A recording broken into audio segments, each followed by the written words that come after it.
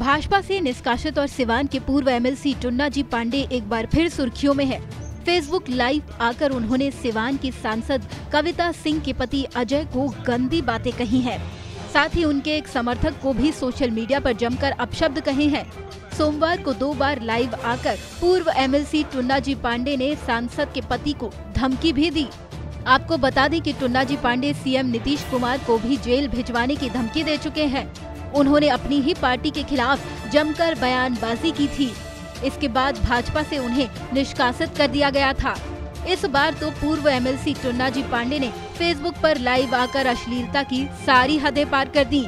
उनके आचरण को लेकर सवाल उठने लगे हैं। सांसद कविता सिंह के पति अजय सिंह को लपेटकर उनके करीबी एक शख्स को भी अपशब्द कहे। चोर बेहुदा कहीं का इसको बोलने का तमीज नहीं है।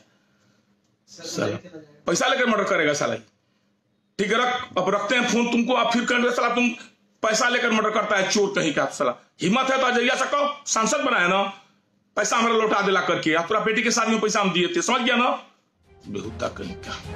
टुन्ना जी पांडे ने बताया कि सिवान सांसद कविता सिंह के पति अजय सिंह को एक टेंडर के सिलसिले में ढाई लाख रुपए दिए थे। जिसे वापस मांग रहे हैं तो उसका समर्थक बीच में कूद पड़ा है। वो जाति विशेष को गाली देकर वीडियो पोस्ट कर रहा था। इससे तंग आकर उन्होंने फेसबुक लाइव किया था। वो अपने दिल से निकाल ले। ब्राह्मण का पैसा है आपको पाई पाई चुकाना पड़ेगा और देना चाहिए आपको। आप एक शिवान के जनप्रतिनिधि के पति हैं आप तो कुछ नहीं है। आप तो लुटेरा हैं चोर हैं।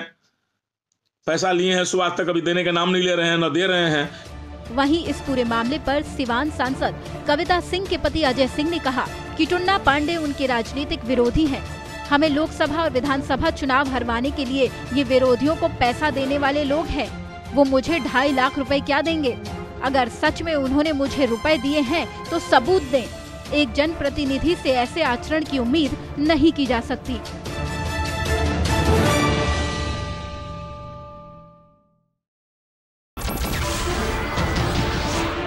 नमस्कार, मैं हूँ मानक गुप्ता। अगर आपको हमारा ये वीडियो पसंद आया हो तो इसे लाइक और शेयर ज़रूर करें।